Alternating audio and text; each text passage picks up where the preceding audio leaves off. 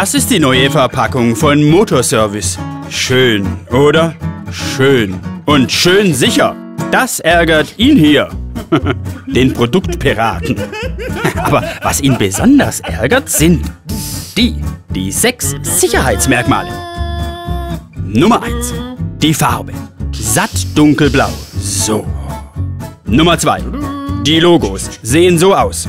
Kolbenschmidt, Pierburg, THW Engine Components. Pro Marke eine Verpackung. Nummer 3. Das Etikett. Sieht so aus. Dient auch als Verschlusssiegel.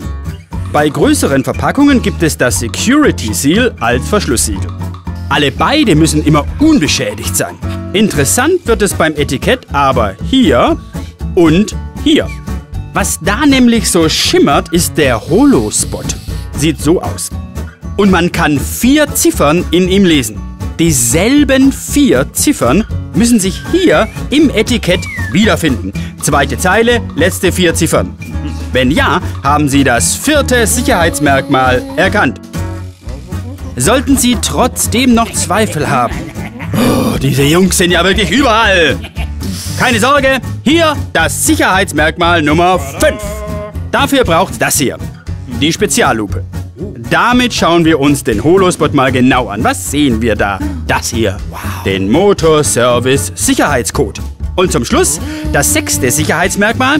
Dafür braucht es den 2D-Matrix-Code in Echtschrift. Kennen wir schon, hier gleich neben dem gepixelten Viereck. Damit machen Sie folgendes.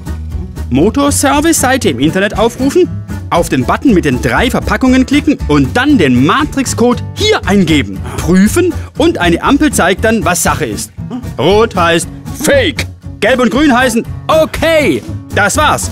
Was meint ihr dazu? und Sie? Genau, wir auch.